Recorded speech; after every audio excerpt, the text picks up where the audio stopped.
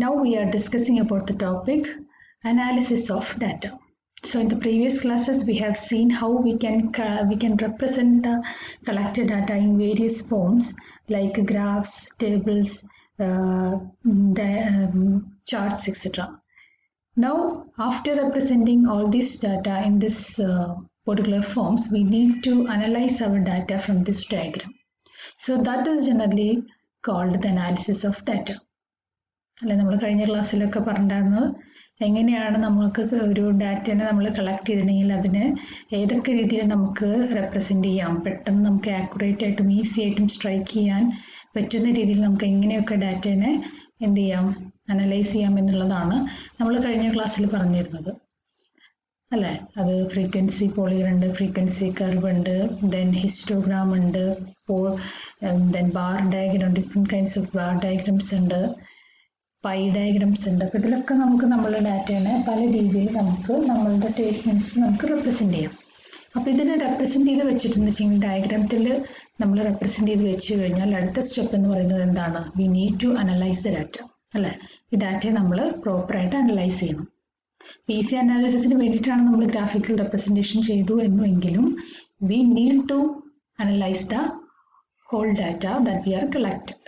So generally in biostatistics, there are two different kinds of analysis are generally employed. That is called as measures of central tendency and measures of dispersion. Measures of central tendency, measures of dispersion എന്ന് പറയുന്ന രണ്ട് method വെച്ചിട്ടാണ് നമ്മൾ ബയോസ്റ്റാറ്റിസ്റ്റിക്സിൽ എല്ലാ തരത്തിലുള്ള analysis ഡാറ്റകളെയും analyse ചെയ്യുന്നത് so let's move to the detail What does mean by measures of central tendency?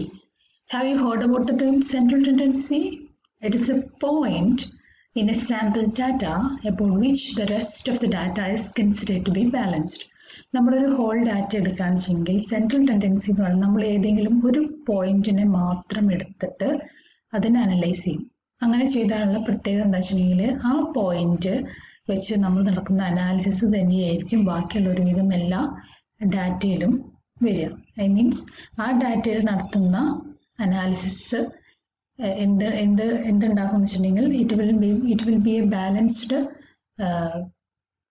analysis to the rest of all the data കുറച്ചുകൂടി clear ആയിട്ട് പറയണമെങ്കിൽ നമ്മളിപ്പോൾ ഒരു ഡാറ്റ എടുക്കുകയാണെന്നുവെച്ചെങ്കിൽ അത് എന്തെങ്കിലും ഒരു പെർട്ടിക്കുലർ ആയിട്ടുള്ള ക്യാരക്ടർ വെച്ചിട്ടായിരിക്കും എന്ത് ചെയ്യുന്നുണ്ടാവുക? ആ ഡാറ്റയെ നമ്മൾ അനലൈസ് ചെയ്യും. ഫോർ എക്സാമ്പിൾ ഒരു ഹൈറ്റ് ഒരു ക്ലാസ്സിലെ കുട്ടികളുടെ ഹൈറ്റ് എടുക്കുന്നതായിരിക്കും അപ്പോൾ ഹൈറ്റ് എന്ന് പറയുന്നതാണ് ഇവിടുത്തെ ക്യാരക്ടറിസ്റ്റിക് ഫീച്ചർ അപ്പം ഈ ഒരു തേർട്ടി സ്റ്റുഡൻസ് ഉണ്ടെങ്കിൽ തേർട്ടി സ്റ്റുഡൻസിന്റെയും ഹൈറ്റ് മെഷർ ചെയ്യുമ്പം അത് നമുക്കൊരു ഏകദേശം ഒരു ഒരു സെൻട്രൽ ആയിട്ടുള്ള ഒരു ഒരു പെർട്ടിക്കുലർ പോയിന്റ് കിട്ടും. അപ്പം നമുക്ക് പറയാം ഈ ഏജിലുള്ള കുട്ടികൾക്ക് ഇത്ര ഹൈറ്റ് ആണ് വരുന്നത്.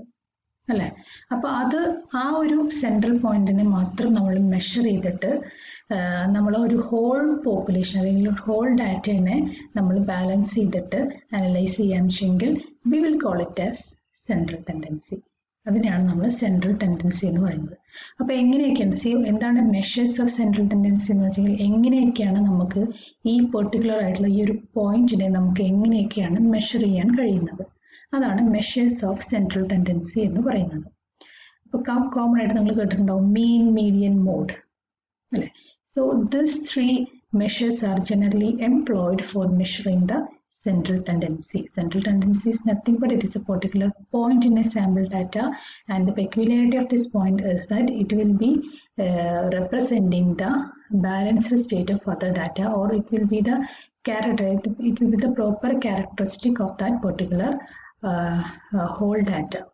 Okay, and we can measure this central tendency by means of all these methods.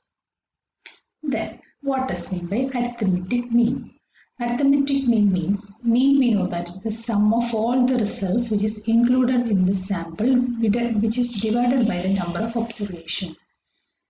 നമ്മൾ എങ്ങനെയാണ് മീൻ കാണുന്നത് മീൻ എങ്ങനെ കാണുന്നത് വെച്ചിട്ടുണ്ടെങ്കിൽ ഇറ്റ്സ് എ സം എല്ലാ നമുക്ക് കിട്ടിയിട്ടുള്ള എല്ലാ റിസൾട്ടുകളെയും കൂടി കൂട്ടിയിട്ട് എത്ര ഒബ്സർവേഷൻ ആണ് നമ്മൾ ആ റിസൾട്ടിൽ എംപ്ലോയ് ചെയ്തിട്ടുള്ള അതിനെ കൊണ്ട് ഡിവൈഡ് ചെയ്യുമ്പോൾ കിട്ടുന്നതാണ് അരിത്തമാറ്റിക് പറയുന്നത് അപ്പം കുറച്ചുകൂടി ക്ലിയർ ആയിട്ട് പറയാൻ പറയാണെന്നുവെച്ചെങ്കിൽ if X one X two X three X four up to X N be the N observation for a particular variable X X എന്ന് പറയുന്നത് എന്തെങ്കിലും ഒരു ക്യാരക്ടർ ആയിരിക്കാം. ഒരു വേരിയബിൾ അത് വെച്ചിട്ട് നമ്മൾ എക്സ് വൺ മുതൽ ഒരു എക്സ് എൻ വരെയുള്ള ഒബ്സർവേഷൻസ് നടത്തിയിട്ട് നമുക്ക് റിസൾട്ടുകൾ കിട്ടും. അപ്പോൾ നമ്മൾ ഈ റിസൾട്ടുകളെ എങ്ങനെയാണ് ഈ റിസൾട്ടുകളെ നമ്മൾ ഒരു മീനിലേക്ക് എങ്ങനെയാണ് കൺവേർട്ട് ചെയ്യുക വെച്ചിട്ടുണ്ടെങ്കിൽ it it is generally represent by ഒരു ഫോമിൽ വെച്ചിട്ടാണ് നമ്മൾ ഈ മീൻ കാൽക്കുലേറ്റ് ചെയ്യുന്നത്. അത് X dash to one by N into sigma X I അപ്പോൾ ഈ സിഗ്മ എക്സ് ഐ എന്ന് പറയുന്നത് X one plus X two plus X three plus X four up to നമുക്ക് എത്ര ഒബ്സർവേഷൻ ഉണ്ട്? അതിന്റെയൊക്കെ സം ഡിവൈഡഡ് ബൈ നമ്മൾ എത്ര ഒബ്സർവേഷൻസ് നടത്തി? ദാറ്റ് ഇസ് സ്മോൾ അതാണ് എന്ത്? അരിത്തമാറ്റിക് മീൻ എന്ന് പറയുന്നത്. കുറച്ചുകൂടി ക്ലിയർ ആയിട്ട് മനസ്സിലാക്കാൻ നമ്മളൊരു എക്സാമ്പിൾ വെച്ചിട്ട് സൈറ്റ് ചെയ്യാം. സ്റ്റെപ്സ് ഓഫ് കാൽക്കുലേഷൻ എങ്ങനെയാണ് കാൽക്കുലേറ്റ് ചെയ്യുന്നത്? As per the definition it is X bar equal to one by N into sigma X I we have to in the first step we have to add all the values of X and get sigma X and divide this sigma X divided by the total of total number of observations. For example the following table which generally represents the mark obtained in botany for students. ബോട്ടണിയിൽ ഒരു ക്ലാസ്സിൽ കിട്ടിയിട്ടുള്ള പത്ത് സ്റ്റുഡൻസിന് കിട്ടിയിട്ടുള്ള മാർക്കുകളാണ് ഈ കൊടുത്തിട്ടുള്ളത്. അപ്പോൾ ഇവിടെ നമുക്ക് എത്ര ഒബ്സർവേഷൻ ഉണ്ട്? പത്ത് ഒബ്സർവേഷൻ ഉണ്ട്. So N is equal to ten then sigma X എന്ന് പറയുമെങ്കിൽ എക്സ് എന്ന് പറയുന്നത് ഇവിടെ മാർക്കാണ് വേരിയബിൾ എന്ന് പറയുന്നത് എന്താണ്? മാർക്കാണ് so we need to add all these seven plus sixty nine plus sixty six up to seventy four വരെയുള്ള മാർക്കുകൾ ആഡ് ചെയ്തിട്ട് we need to divide this whole mark divided by ten so six ninety divide by ten that is equal to sixty nine so sixty nine will be the mean of this particular observation ഈ ഒരു particular ക്വസ്റ്റ്യന്റെ mean എന്ന് പറയുന്നത് it is sixty nine that is six ninety divide by ten okay then mean for data.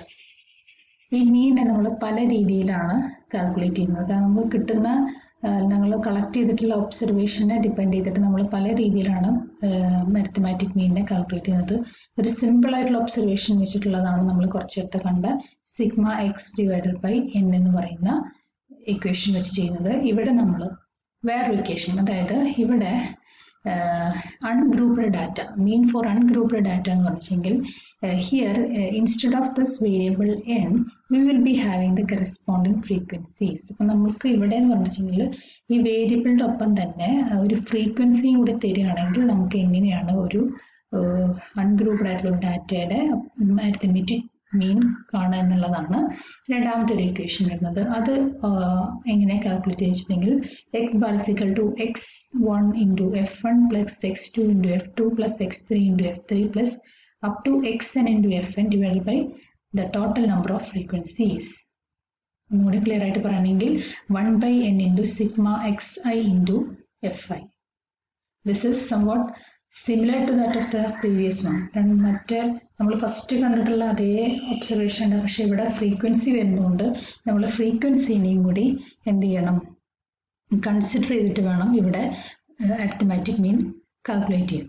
അപ്പം ഇതിൽ X എന്ന് പറയുന്നത് observation of the ഡാറ്റയാണ് എഫ് എന്ന് പറയുന്നത് ഫ്രീക്വൻസിയാണ് എൻ എന്ന് പറയുന്നത് ഈ ടോട്ടൽ നമ്പർ ഓഫ് ഫ്രീക്വൻസിയാണ് അപ്പം എങ്ങനെയാണ് അത് ചെയ്യുക വെച്ചാൽ multiple each variable value with its corresponding frequency ഏതൊക്കെ വാരി വേരിയബിൾ എന്ന് പറഞ്ഞാൽ എക്സ് വൺ ആണ്. ഈ എക്സ് വണ്ണിനെ അതത് ഫ്രീക്വൻസി ആയിട്ട് മൾട്ടിപ്ലൈ ചെയ്യുക എന്നിട്ട് അതിന്റെ സമ്മ് കാണാം. Then divide this whole by means of the total frequency that is capital N കുറച്ചും കൂടി ക്ലിയർ ആയിട്ടൊരു എക്സാമ്പിൾ വെച്ച് പറയാം.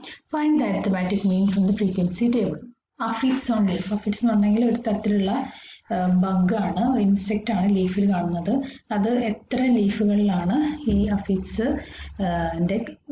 എണ്ണം കാണുന്നത് എന്നുള്ളതാണ് ഈ കാണിക്കുന്നത്. അതായത് പതിനഞ്ച് ലീഫിൽ മുപ്പത് അഫിറ്റിനെ കാണുന്നുണ്ട് ഇരുപത് ലീഫിൽ നാൽപ്പത് എണ്ണത്തിനെ കാണുന്നുണ്ട് പത്ത് ലീഫിൽ അൻപത് എണ്ണത്തിനെ കാണുന്നുണ്ട്. അപ്പം ഇതാണ് നമ്മുടെ ഒബ്സർവേഷൻ അപ്പം ഇതിൽ ഏതാണ് നമ്മളുടെ ഫ്രീക്വൻസി എന്ന് പറഞ്ഞാൽ ഫ്രീക്വൻസി എന്ന് പറഞ്ഞെങ്കിൽ the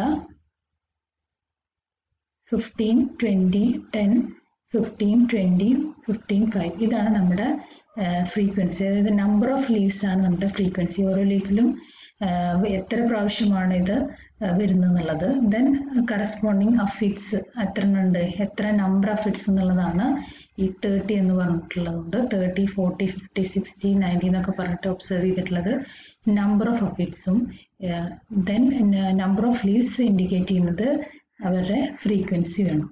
ഓക്കെ അപ്പോൾ മുപ്പത് അഫിറ്റ്സിന് ഏകദേശം പതിനഞ്ച് ലീഫുകളിൽ നമുക്ക് ഇങ്ങനെ ഫ്രീക്വന്റ് ആയിട്ട് കാണാൻ പറ്റും. സോ ഇവിടെ ഫസ്റ്റ് ചെയ്യണമെന്ന് വെച്ചിട്ടുണ്ടെങ്കിൽ ഈ എക്സ് ഐയും എഫ് ഐയും കൂടി മൾട്ടിപ്ലൈ ചെയ്യണം. ദാറ്റ് മീൻസ് അഫീഡും നമ്പർ ഓഫ് ലീവ്സും കൂടിയിട്ട് ഓരോ ക്ലാസ്സിലുള്ളതും എന്ത് ചെയ്യാം?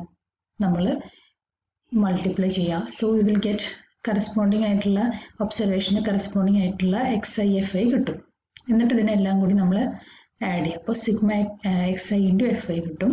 ദെൻ ഈ ഫ്രീക്വൻസികളുടെ സമ്മാണ് ക്യാപിറ്റൽ എൻ എന്ന് പറഞ്ഞിട്ട് ഉദ്ദേശിക്കുന്നത്. So N equal to hundred so X bar equal to one by N into sigma X I F I so will get five thousand seven hundred divide by hundred that is fifty seven so fifty seven will be the central tendency or the arithmetic mean of this particular observation okay then mean in grouped data ഒരു continuous series കാണിച്ചെങ്കിൽ നമുക്ക് എങ്ങനെയാണ്?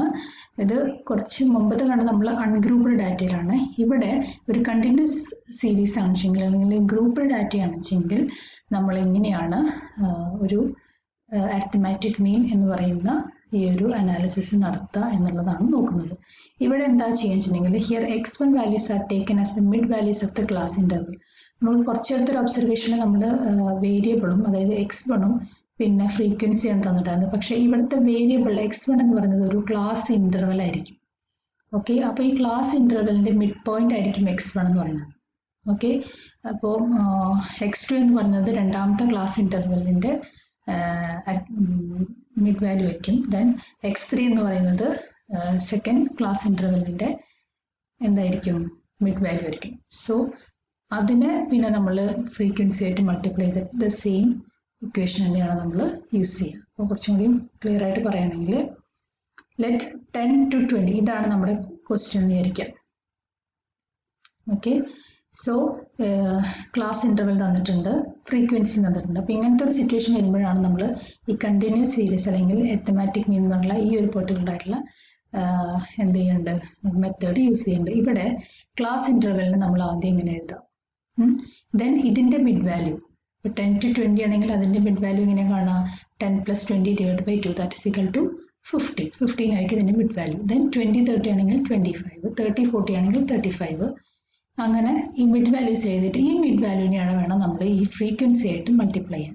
Okay so first step is evaluating the mid value of each class then multiply the mid values by the corresponding frequency of each class. And adding to get sigma fx. ഇതൊക്കെ കൂടി add ചെയ്യുമ്പോൾ നമുക്ക് sigma F I into X X കിട്ടും. F I into X I കിട്ടും. Then divide this with total frequency so two twenty two thousand and two fifty divided by fifty ഇവിടെ fifty ആണ് വരുന്നത്. So will get forty five so forty five will be the 45 will be the arithmetic mean of this particular data. Then what is the merits and demerits of mean? The merits means it has the simplest average formula which is easily understandable and easy to compute. അല്ലെ പെട്ടെന്ന് തന്നെ നമുക്ക് മനസ്സിലാക്കാനും compute ചെയ്യാനൊക്കെ പറ്റും Then this is so rigidly defined by mathematical formula that everyone gets the same result for a single problem. Its calculation is mainly based upon all the observations. Then it is least affected by sampling fluctuations. Fluctuations ഒന്നും വരാനുള്ള chance വളരെ കുറവാണ്. കാരണം എല്ലാ ഒബ്സർവേഷൻസും നമ്മൾ clear ആയിട്ട് എടുത്തിട്ടാണ് data analyse ചെയ്യുന്നത്. Then this mean is typical because it will balance the value on either sides then it is the best measure to compare two or more series continuous സീരീസിനാണെങ്കിലും discrete സീരീസിനൊക്കെ ആണെങ്കിലും കറക്റ്റായിട്ട് measure ചെയ്യാനും compare ചെയ്യാനും നമുക്ക് arithmetic മീനിന്റെ ഈ ഒരു measurement വെച്ചിട്ട് കഴിയും. And mean is calculate on value and does not depend on ചില സെൻട്രൽ ടെൻഡൻസീസ് ഒക്കെ നമ്മൾ എന്തെങ്കിലും പൊസിഷൻ വെച്ചിട്ടൊക്കെ പറയാം. ഇപ്പോൾ മീഡിയൻ ഒക്കെ പറയുമ്പോൾ മിഡിൽ പൊസിഷൻ ഉള്ളതാണ്. ഇപ്പോൾ ഇവിടെ അങ്ങനെ ഒരു പൊസിഷനിൽ പ്രത്യേകിച്ച് ഒരു ഇതില്ല. ദെൻ എന്തൊക്കെയാണ് disadvantages it cannot be calculate ഇപ്പോൾ the values are not known എല്ലാ വാല്യൂസ് അറിയില്ലെങ്കിൽ നമുക്ക് കാൽക്കുലേറ്റ് ചെയ്യാൻ പറ്റില്ല. Then extreme values have greater effect on mean extreme ആയിട്ടുള്ള ലാർജ് വാല്യൂ വാല്യൂസിന് ഈ മീനിന്റെ വലിയൊരു എഫക്റ്റ് ഉണ്ട്. Okay So that's all about the arithmetic mean of central tendency. I hope you understood. It's very just simple.